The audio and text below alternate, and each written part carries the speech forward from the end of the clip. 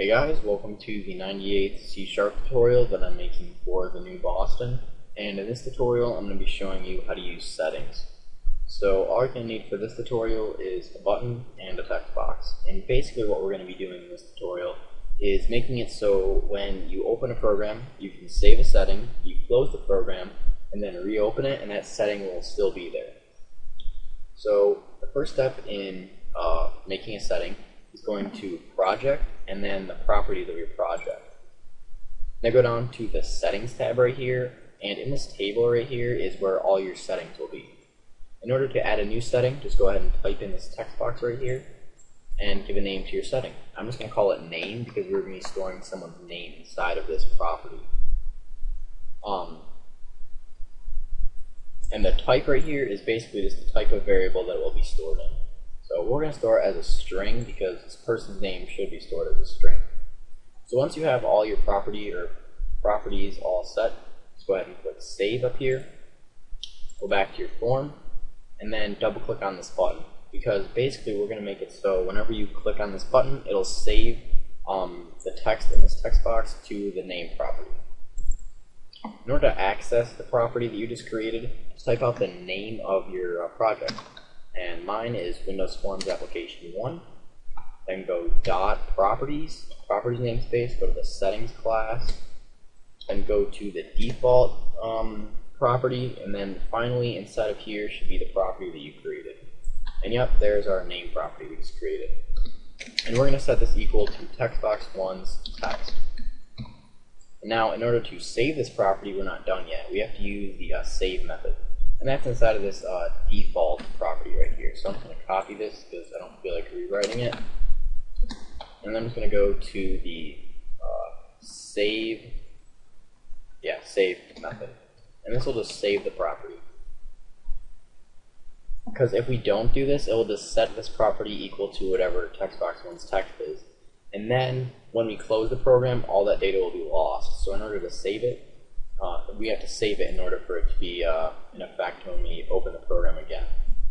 And we're just going to have uh, textbox1's text be equal to whatever the property is. So we're just going to copy this out here again because I'm lazy. Alright. So now when we debug here, textbox1's text should be equal to the property. And um, when we click this button, it should save the contents of this text box into the property. So I'm just going to store Adam inside of the name property. So now when I click this button, it should save it. So now when I reopen, I should see Adam in the text box because it saved the property and then it's rereading the property. Yep, you get Adam in that text box right there.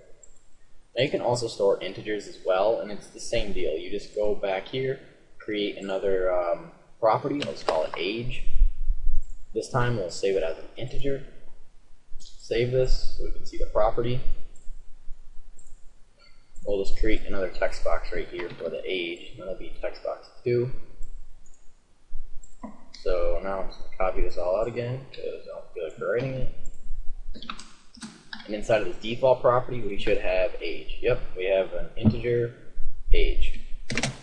I'll just set this equal to converting the uh, text box's text into an integer uh, to int 32 and then text box 2's text. And no matter how many properties you have, you only have to save it once. So don't think that since you have two properties, you have to save it twice. No, you only need one. You only need to save it once. So basically, this will just convert uh, text box 2's text into an integer, and then save that, and then save that property.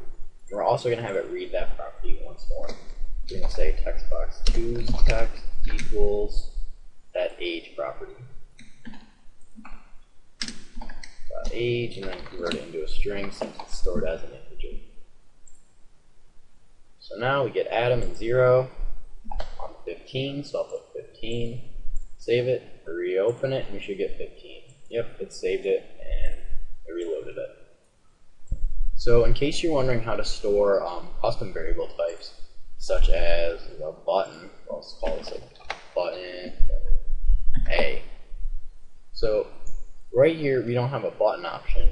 However, we can do browse, and browse will allow us to browse through all of the uh, namespaces that we currently have open. So if we want to do a button, we go to Windows Forms, Forms namespace, and scroll down until we see the button variable. Click OK, and now we can store it as a button.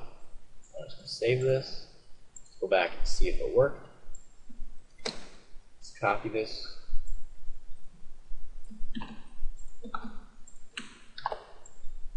Alright, and we should have a variable called button A. And yeah, it's called a button. So now we can only set this equal to a button. So I'll just set it equal to button 1. Build, make sure you get no errors. And yep, that's perfectly fine. Setting it equal to a button. So that's pretty much it for this tutorial. So see you guys.